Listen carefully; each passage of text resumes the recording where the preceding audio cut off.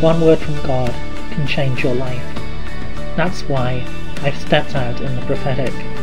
My name is Kevin Bridges, and you're listening to Daily Prophetic.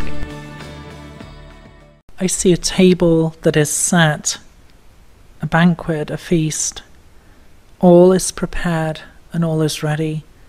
And the Lord says to you, Come. I want that you come into my presence, that you eat with me, that you fellowship with me. For there is much that I want to speak, much that I want to show to you. I want that you experience my love, that you experience my loving kindness. Draw near to me this day, for there is much that I want to tell you, much that I want to give to you. Know that I am at work, that I am the one who delights in you, the one who leads you forward into the fullness of life. Watch and see, for I am giving you newness of life, and I am giving you my blessing in this very day. Would you like a personal prophetic word?